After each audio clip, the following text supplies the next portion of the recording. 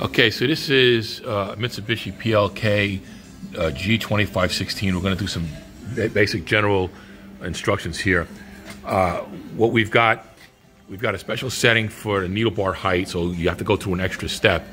But here's what happens when you first turn the machine on.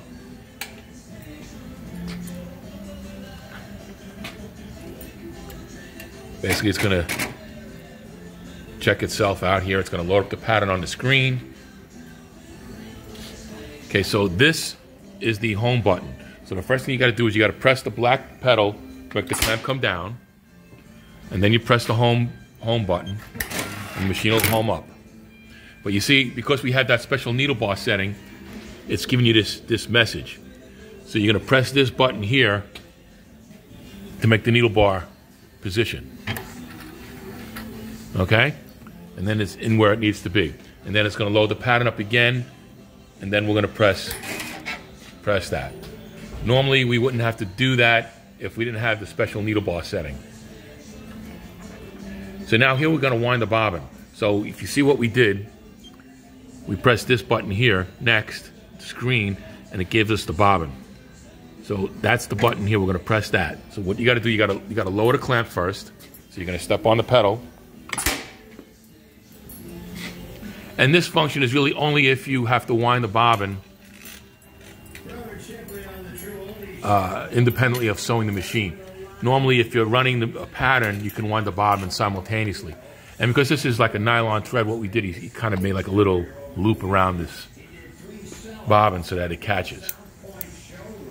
And then when you step on the gray pedal, the machine's going to wind the bobbin. Now again, because this bobbin winder works off the, the machine turning, you can actually do this while it's sewing so that you never run out.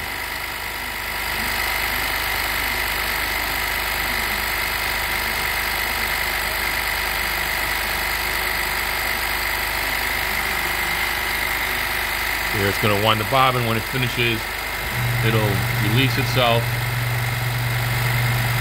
And that's it. We're done. Okay? And then the machine. So you actually have to hold your foot on the pedal to keep that running. Once you take your foot off the pedal, the machine will stop. And then at that point, you would just hit the X here and exit out of that screen. Go back, and you can uh, run the machine now. While I'm at this stage here, this button here will lower the foot so you can thread the needle. So if I press this, it lowers it so you can thread the needle. This is the sewing speed, and this is if you want to jog the pattern around.